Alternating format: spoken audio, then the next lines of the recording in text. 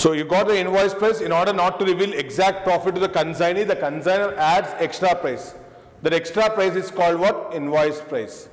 In order not to reveal exact profit to the consignee, the consigner costs extra price. The cost price is what? 10,000. He is adding extra price. That is what? Loading. 2000 is doing, so 12,000.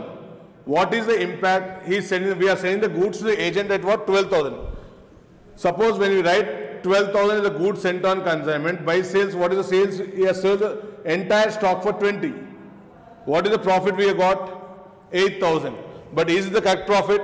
The impact of adding extra price is what? We are not knowing exact profit. What is the exact profit? 20,000. What is the cost price? 10,000. 10,000 should be the profit, but we are showing it as what? 8,000.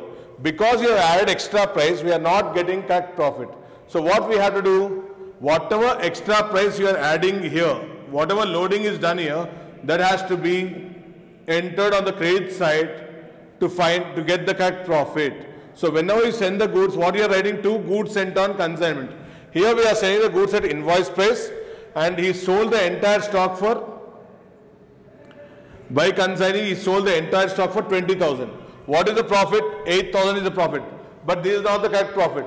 So because you are not getting the correct profit, whatever extra price you are adding, that has to be unloaded. So here we have done the loading here. So unloading has to be done on the credit side by goods sent on consignment. Why we are unloading it? To find out the correct profit. Second, for the agent, what is the cost price? 10,000 or 12,000? For the agent, the cost price is 12,000. So when the, the cost price, when you are selling the goods at what invoice price, for the, whenever there is unsold stock, the agent will value at invoice price.